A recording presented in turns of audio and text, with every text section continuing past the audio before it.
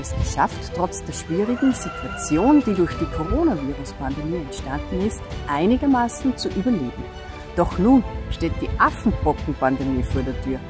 Wie lange wird diese Welt noch so weitergehen? Finde hier heraus, was noch kommen wird, bevor sich unser Erlöser zugunsten seines Volkes offenbaren wird.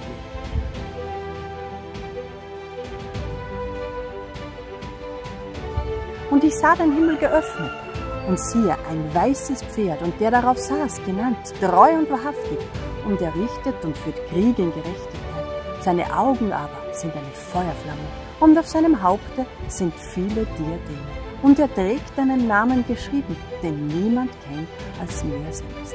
Und er ist bekleidet mit einem in Blut getauchten Gewand. Und sein Name heißt das Wort Gottes. Und die Kriegsheere, die in den Himmel sind, folgten ihm auf weißen Pferden, angetan mit weißer reiner Leinwand. Und aus seinem Munde geht hervor ein scharfes, zweischneidiges Schwert, auf das er damit die Nationen schlage. Und er wird sie weiden mit eiserner Rute und er tritt die Kälte des Weines, des Grimmes, des Zorns Gottes, des Allmächtigen.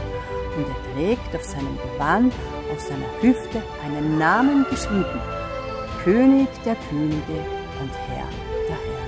Offenbarung 19, 11 bis 12.